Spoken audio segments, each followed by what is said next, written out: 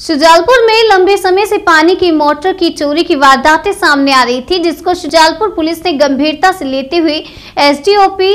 VSK Dwivedi के निर्देशन में थाना प्रभारी संतोष वाघेला ने एक टीम बनाई थी जिसने मुखबिर की सूचना पर दबिश देकर दो चोरों को कमलिया बाईपास से गिरफ्तार करते हुए आरोपियों से कुल छह पानी की मोटरें जब्त की हैं पुलिस से प्राप्त जानकारी के अनुसार आरोपियों को गिरफ्तार कर न्यायालय में पेश कर पुलिस रिमांड की मांग की है